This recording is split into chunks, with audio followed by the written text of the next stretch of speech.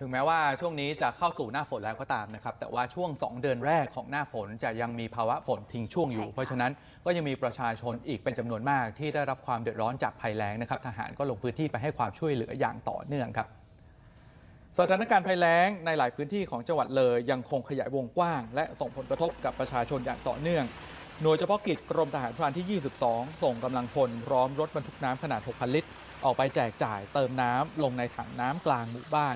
และบ้านพักของผู้ประสบภัยแล้ง ในพื้นที่ตำบลสีสองรักอำเภอเมืองจังหวัดเลย เนื่องจากแหล่งน้ำดิบผลิตน้ำประปาในพื้นที่เริ่มแห้ง จนไม่สามารถผลิตน้ำประปาแจกจ่ายได้อย่างเพียงพอต่อความต้องการ สร้างความดีใจให้แก่ประชาชนได้มีน้ำกินน้ำใช้ไปได้อีกระยะหนึ่ง พร้อมทั้งขอบคุณทหารที่ไม่ทอดทิ้งประชาชนในยามทุกข์ยาก